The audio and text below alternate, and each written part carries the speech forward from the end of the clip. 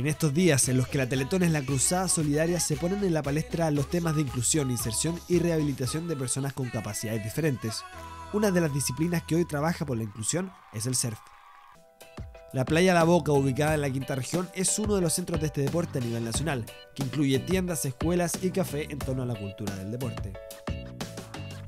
Dentro de esta está la Academia Free Sports, que realiza un taller para personas con capacidades diferentes. Autismo, ceguera y síndrome de Down son algunas de ellas. Este taller surgió como una iniciativa de la escuela, ya que se dieron cuenta que muchos niños que asistían a los talleres de Adapta Chile no alcanzaban a clasificar en el surf. Bueno, anécdota yo creo que hay todos los sábados. Eh, tenemos niños que tienen distintas eh, características, distintas formas de pensar, de vivir la vida. Eh, algunos llegan bailando, otros cantando, otros que te abrazan, te llenan de besos. claramente uno fortalece el vínculo con ciertas personas. Playa La Boca, el Centro de Cultura del Surf, albergó el primer Campeonato Nacional de Surf Adaptado 2016, torneo que presentó a los mejores exponentes chilenos en la situación de discapacidad física. En la modalidad prono, sentado, parado, asistido y open, sus ganadores obtuvieron un cupo para ser parte de la selección nacional.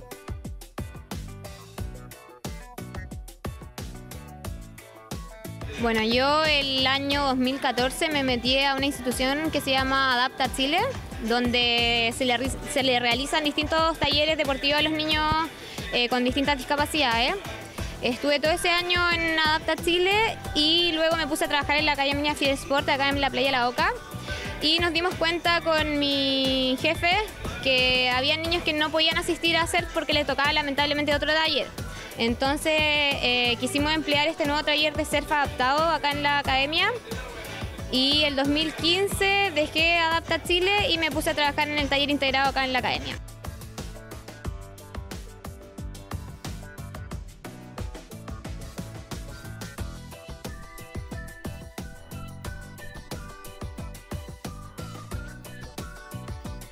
Con este deporte y los talleres, los asistentes van logrando superarse y avanzar. La confianza en sus familias es uno de los requisitos fundamentales para su progreso. Se ha ido desarrollando súper bien, la parte de motricidad le, ha ayudado. Eh, le fascina, le encanta. El día sábado, él para él, pensando en el ser que tiene que venir para acá como te conversaba yo, de que la parte motricidad para él le, ha ayudado mucho. El hecho mismo de pararse en la tabla y, tener su, mantener su equilibrio, eh, para él es fascinante, porque nosotros igual, nosotros pensamos que, no, que le iba a dar miedo, que se iba a asustar, y no, al contrario, porque se ha desarrollado súper bien, fíjate. Según los voluntarios, el objetivo principal es que los niños pasen un momento grato y sociabilicen más allá de una adquisición de la técnica en el deporte. Eh, para mí lo primordial no es que los niños aprendan a surfear o que aprendan a pararse dentro de la tabla, sino que disfruten del mar, disfruten de una educación nueva que ahora se está como dando más en la sociedad, eh, que aprendan a sociabilizar con el resto y más que nada que darles un momento de felicidad.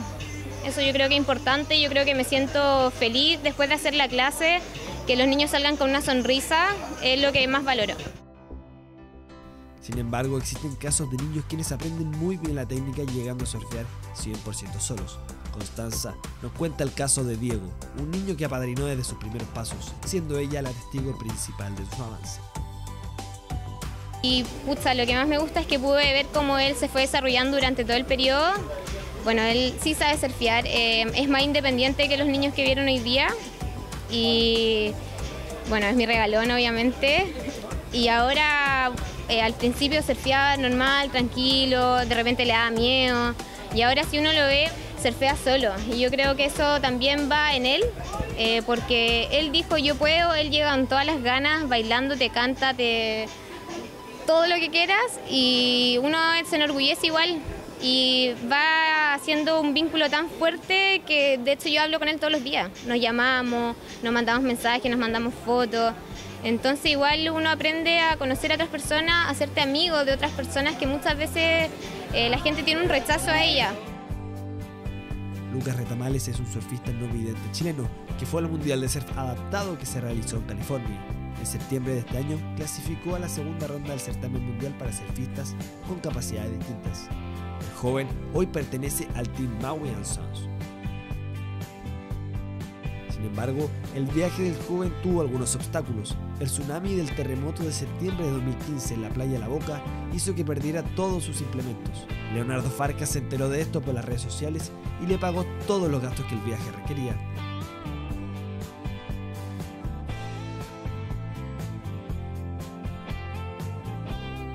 Pero la mayoría de los niños que no llegan a estas instancias disfrutan de igual manera el encuentro semanal con el mar.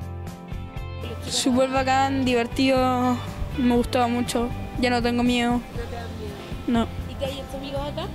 Sí, y ahora llegué este año a Concón para participar haciendo surf que, que he sido mi taller por primera vez y, y, mi- y luego me tocó kayak y luego una combinación de dos juntos kayak en la mañana y surf en la tarde Me ha gustado acá en surf, eh, disfrutarlo, eh, pasarlo bien y sentir la adrenalina cuando te subes a una ola y montar.